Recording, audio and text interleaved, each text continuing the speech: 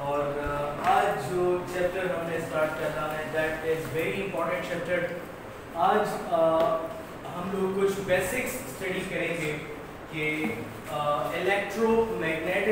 कि आपके बुक का चैप्टर 15 है, उस इलेक्ट्रोमैग्नेटिज्म चैप्टर की कुछ बेसिक्स के बारे में पढ़ेंगे और फिर आगे की तरफ़ चलेंगे। बिस्मिल्लाह करते हैं जी। आज का जो चैप्टर है दैट इज़ इलेक्ट्रोमैग्नेटिज्म अच्छा देखते हैं जरा इसकी कुछ वर्ड एनालिसिस को अंडरस्टैंड करते हैं कि इलेक्ट्रोमैग्नेटिज्म बेसिकली किसे कहा जाता है। अगर आप गौर से देखें तो ये इलेक्ट्रोमैग्नेटिज्म दो वर्ड से मिलकर बना है। इलेक्ट्रो इलेक्ट्रो कहते हैं चार्जेस को। मैग्नेटिज्म वर्ड निकला है मैग्नेट से। मैग्नेट की बेसिकली मैग्नेटिक बिहेवियर होती है। मैग्नेटिक बिहेवियर अच्छा अब इलेक्ट्रोमैग्नेटिज्म बेसिकली क्या होता है? It is that branch of physics in which we study about the charges at rest the charges in motion and the and the magnetic effect या magnetic behavior of the charges. Charges का क्या magnetic behaviour होता है? या what kind of magnetic behaviour the charges shows तो उस branch को हम कहते हैं इलेक्ट्रोमैग्नेटिज्म कैसे डिफाइन करेंगे? आप कहेंगे the branch of physics the branch of physics that deals with the study of charges deals with study of charges at rest as well as in motion and the magnetic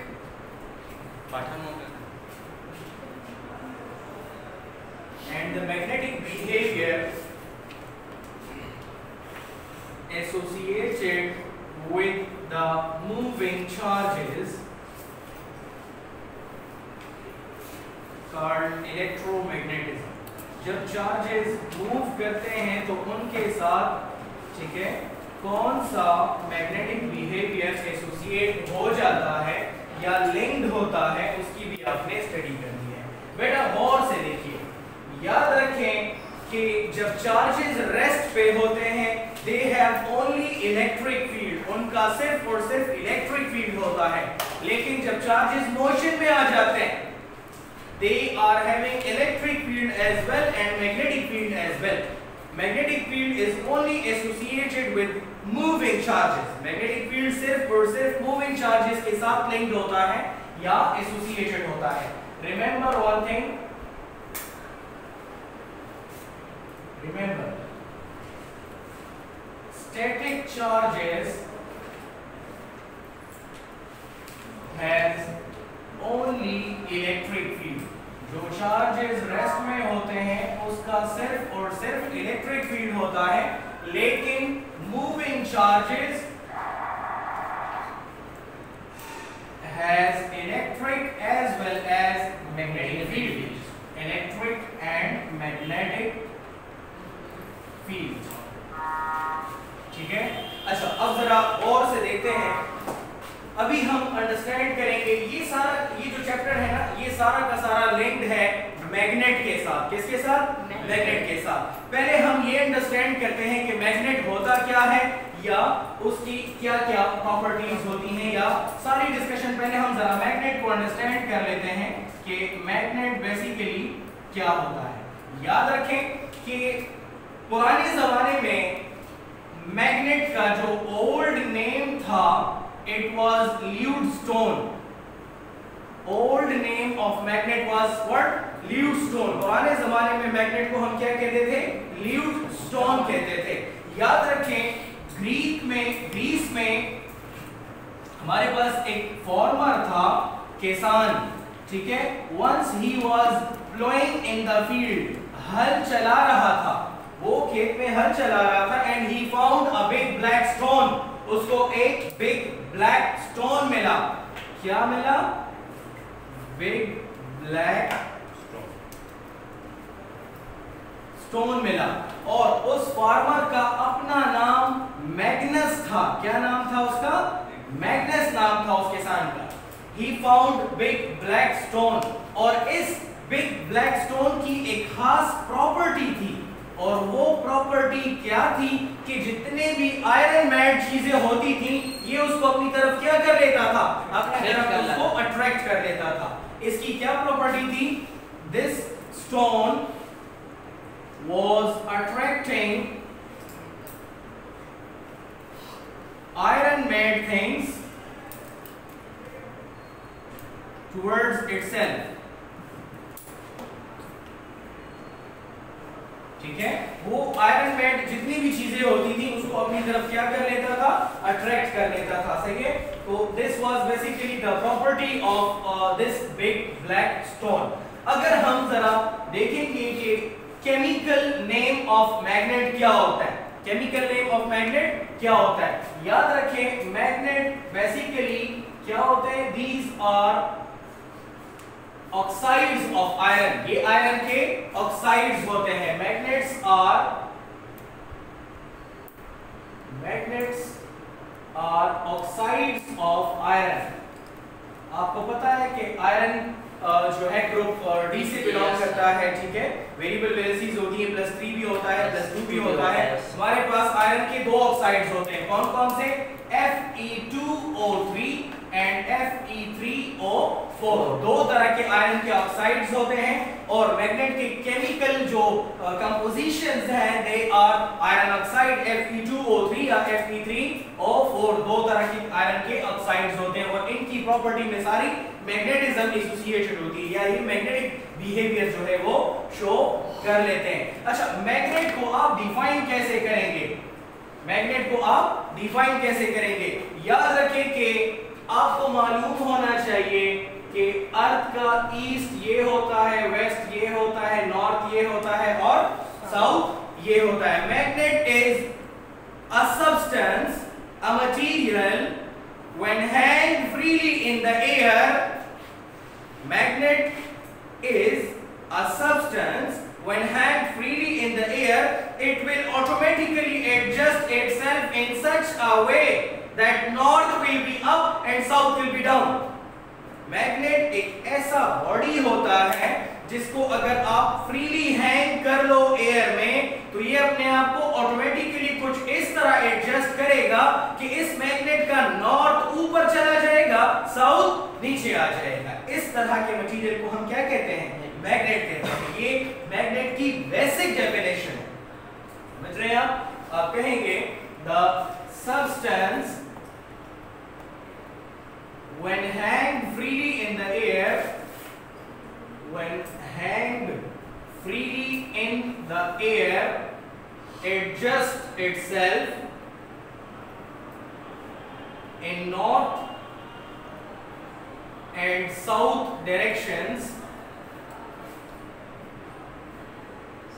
called magnet उसको हम क्या कहते हैं magnet कहते हैं याद रखिए magnet के अंदर आपके पास दो तरह के पोल्स होते हैं। किस तरह के पोल्स होते हैं? दो तरह के पोल्स होते हैं। एक को मैं कहता हूँ नॉर्थ पोल और दूसरे को कहते हैं साउथ पोल, ठीक है? Poles in a magnet. Magnet के अंदर हमारे पास दो तरह के पोल्स होते हैं, ठीक है? एक है north pole north pole, and दूसरा है साउथ पोल, ठीक है? याद रखिए north pole is basically considered conventionally the positive pole of the magnet लेकिन south is considered conventionally the negative pole of the magnet north हम वैसे ही कन्वेंशनली पॉजिटिव कंसीडर करते हैं और साउथ हम कन्वेंशनली नेगेटिव कंसिडर करते हैं। सही है? तो आप कहेंगे कि नॉर्थ क्या है? ये conventionally positive pole of magnet है। Conventionally positive pole of magnet है और साउथ क्या है? ये conventionally negative pole of magnet है। सही हो गया? अच्छा हमारे पास मैग्नेट बेसिकली दिखता किस तरीके से है? याद रखें मैग्नेट हमेशा इस तरह से दिखता है। देखिए, मुख्तलिफ़ शेप के मैग्नेट्स होते हैं। एक मैग्नेट किस तरह होता है? ये नॉर्थ है, ये साउथ है। इसको बार मैग्नेट कहा जाता है। क्या कहा जाता है? बार मैग्नेट कहा जाता है। ठीक है? अच्छा इसको कौन सा मैग्नेट कहते हैं? बार मैग्नेट कहते हैं। अच्छा इसके अलावा और भी बहुत तरह के मैग्नेट होते हैं। बाज मैग्नेट इस तरह होते हैं? ठीक है? इस शेप के, इसको रिंग मैग्नेट कहते हैं। मुख्तलिफ़ शेप के हो सकते हैं। अच्छा एक मैग्नेट किस तरह होता है? यू शेप का, इसको हॉर्स शू मैग्नेट कहते हैं। क्या कहते हैं? Horseshoe magnet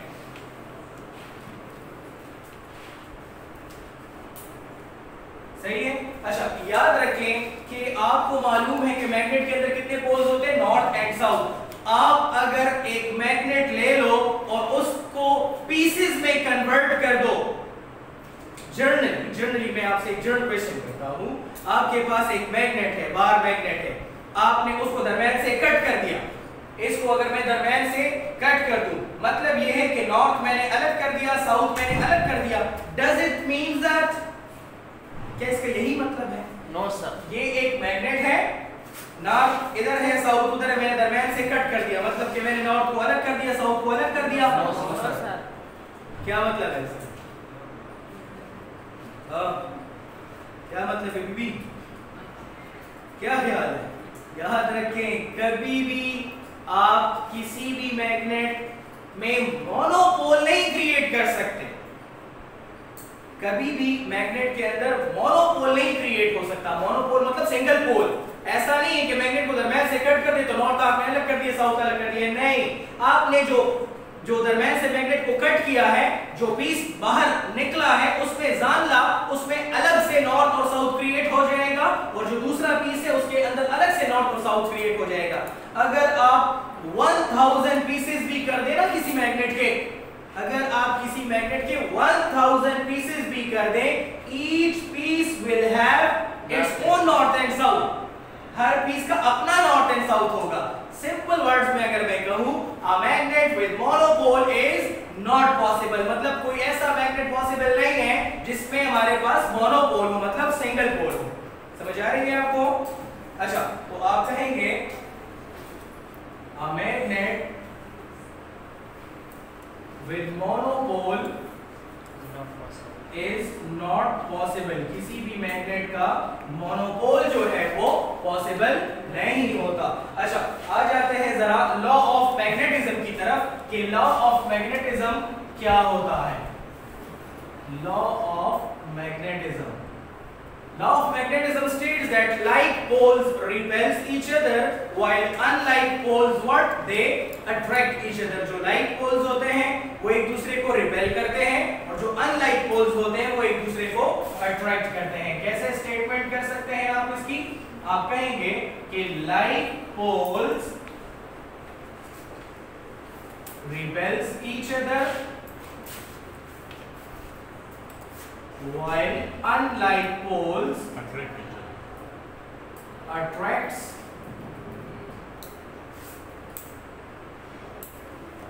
each other. Like poles एक दूसरे को रिपेल करेंगे लेकिन unlike poles एक दूसरे को क्या करेंगे? अट्रैक्ट करेंगे.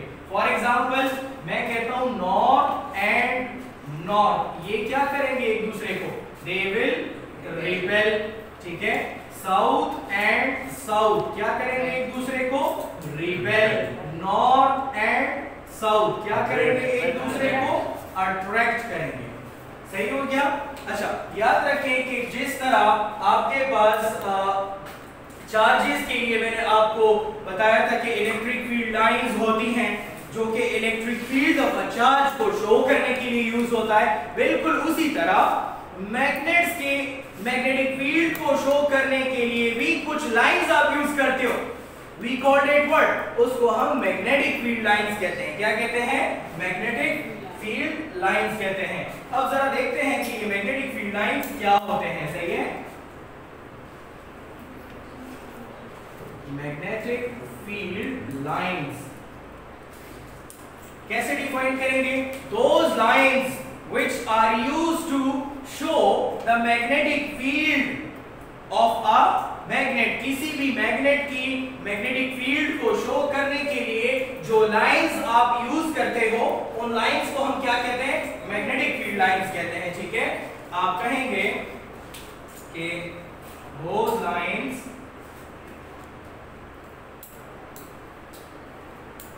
which are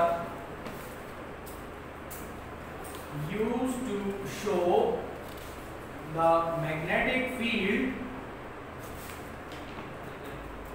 of magnet ठीक है?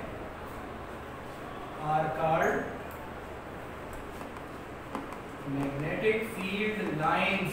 उसको हम मैग्नेटिक फ़ील्ड lines कहते हैं। क्या कहते हैं? मैग्नेटिक फ़ील्ड लाइंस कहते हैं। याद रखें मैग्नेटिक फ़ील्ड को मोस्टली हम लोग बी से रिप्रेजेंट करते हैं। किससे रिप्रेजेंट करते हैं? बी से रिप्रेजेंट करते हैं। सही है? तो आप कहेंगे कि magnetic field is represented by B. इसको हम लोग किससे रिप्रेजेंट करते हैं? B से रिप्रेजेंट किया जाता है। जिस तरह मैंने आपको इलेक्ट्रिक फ़ील्ड लाइंस की कुछ प्रॉपर्टीज़ बताई थी कि इलेक्ट्रिक फ़ील्ड लाइंस की क्या प्रॉपर्टीज़ होती हैं बिल्कुल हूबहू उसी तरह मैग्नेटिक फ़ील्ड या मैग्नेटिक फ़ील्ड की भी कुछ प्रॉपर्टीज़ होती हैं या मैग्नेटिक फ़ील्ड लाइंस की भी कुछ प्रॉपर्टीज़ होती हैं। चलिए वो प्रॉपर्टीज़ वन बाय वन हम डिस्कस करते हैं सही है? Properties of magnetic field lines properties of magnetic field lines magnetic field lines की क्या क्या प्रॉपर्टीज़ होती हैं? याद रखें कि magnetic field lines start from north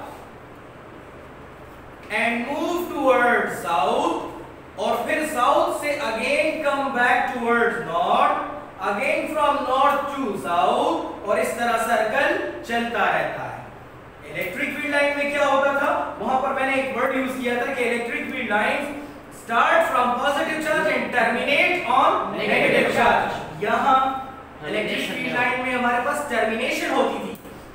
positive charge से आ जाते थे मैग्नेटिक फ़ील्ड लाइन नेगेटिव के खत्म हो जाते थे यहाँ पर ऐसा नहीं होता मैग्नेटिक फ़ील्ड में मैग्नेटिक फ़ील्ड में हमारे पास एक लूप बनता है क्या बनता है लूप के फॉर्म में चीज़ें चल रही होती है सर्कल के फॉर्म में होती है। नॉर्थ से मैग्नेटिक फ़ील्ड लाइन स्टार्ट होती है साउथ की तरफ़ जाती है फिर साउथ से दोबारा नॉर्थ की तरफ़ आती है फिर दोबारा साउथ की तरफ़ जाती है और एक लूप के शक्ल में चल रहे होते हैं। सही है? तो आप कहेंगे फ़र्स्ट प्रॉपर्टी ये है magnetic field line M F L means magnetic field lines magnetic field lines starts from north north से north pole and moves towards and move towards south pole.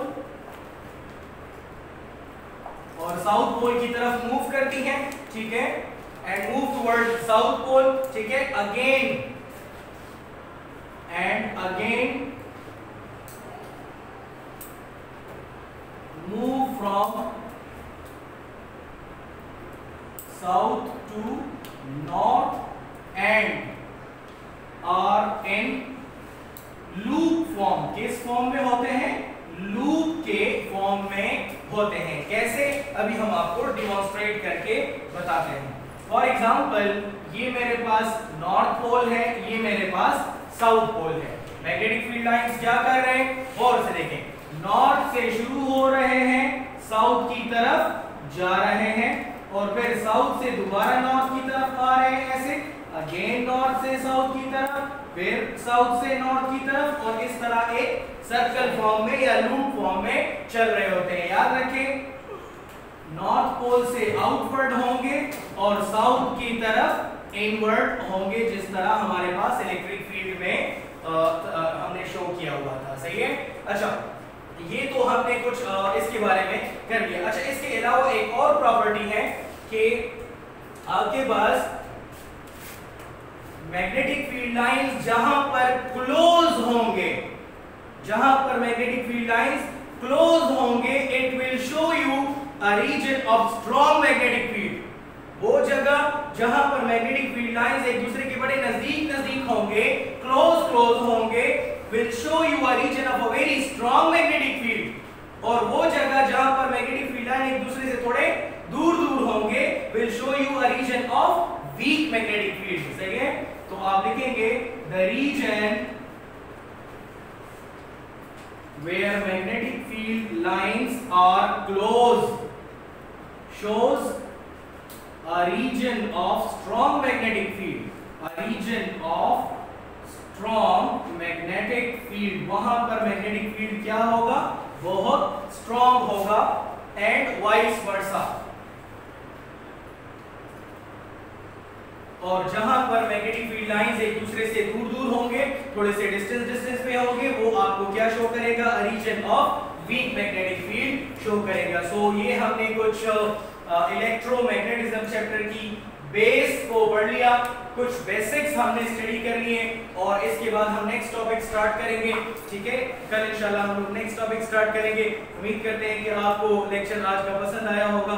Thank you for watching अल्लाह हाफिज। याद रखें कि हमारे channel को आपने like भी करना है सब्सक्राइब भी करना है। कोई भी आ, कोई भी आपने सजेशन करनी हो ठीक है? तो मेरा व्हाट्सएप नंबर आपको स्क्रीन पे नज़र आ रहा होगा। हमारे चैनल पे भी मौजूद है तो आप हमें डायरेक्ट व्हाट्सएप पर रब्ता कर सकते हैं। कोई भी सजेशन हो आप दे सकते हैं। थैंक यू अल्लाह हाफिज़ भी हमारे